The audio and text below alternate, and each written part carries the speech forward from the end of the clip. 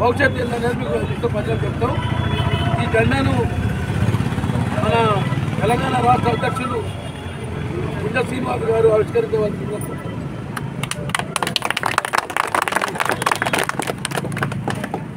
గారు యాదగిరి గారు మురళి గారు ఇక్కడికి విచ్చేసిన మీ అందరికీ కూడా హృదయపూర్వక ధన్యవాదాలు తెలియజేస్తున్నాను.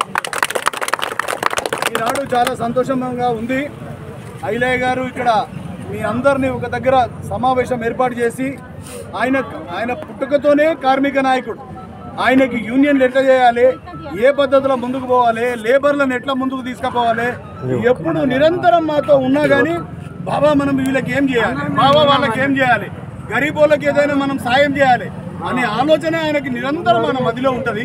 అటువంటి నాయకుడు దొరకడం మనందరికీ అదృష్టం. నాతో పాటు మీ అందరికీ కూడా అదృష్టం అని చెప్పి నేను భావిస్తూ ఇప్పటిదాకా మా పెద్దలు అన్ని చెప్పారు. మా నేషనల్ సెక్రటరీ గారు కానివ్వండి జనరల్ సెక్రటరీ గారు కానివ్వండి.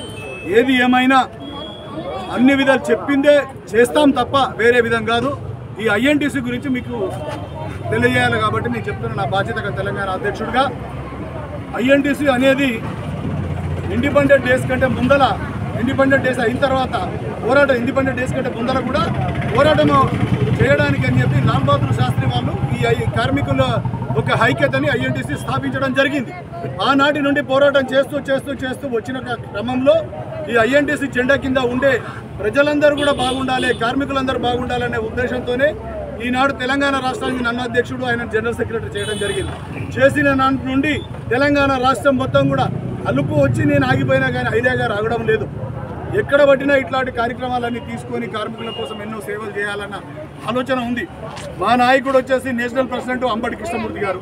మాకు నేషనల్ అడ్వైజర్ వచ్చేసి ఎమ్మెల్సీ రంగారెడ్డి గారు. అదేవిధంగా సర్వే సత్యనారాయణ గారు.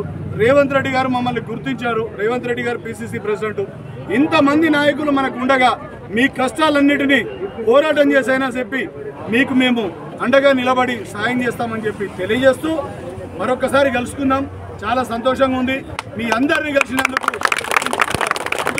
కాబట్టి మీ అందరికీ హృదయపూర్వక ధన్యవాదాలు తెలియజేస్తూ సెలవు తీసుకుంటున్నాను.